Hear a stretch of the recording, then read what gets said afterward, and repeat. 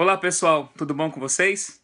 Eu fico feliz de receber vocês aqui em casa, em São Carlos, e ter esse bate-papo rapidinho aqui de fim de programa aqui no Conexão Jovem.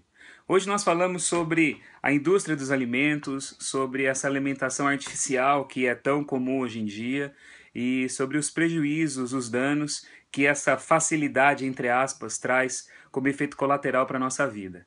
É, eu tenho uma amiga que é nutricionista e ela uma vez disse que o grande segredo para a saúde nossa é nós descascarmos mais e desembalarmos menos.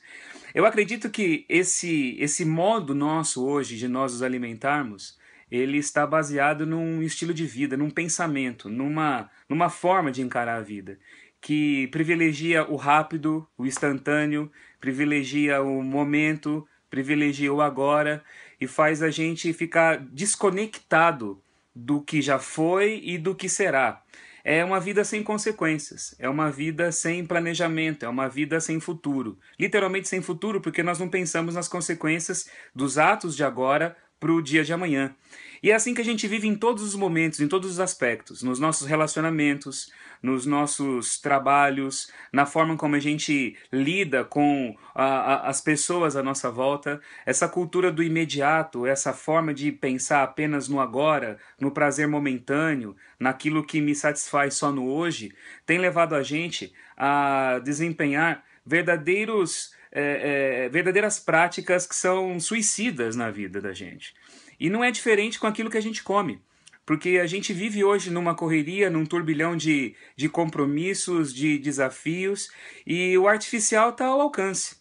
O artificial é prático, o artificial é fácil, o artificial é saboroso, e nós vamos nos tornando viciados, não é? vamos nos tornando tendenciosos para aquilo que é tão, tão propício para se encaixar nessa superficialidade da nossa vida, do nosso dia a dia.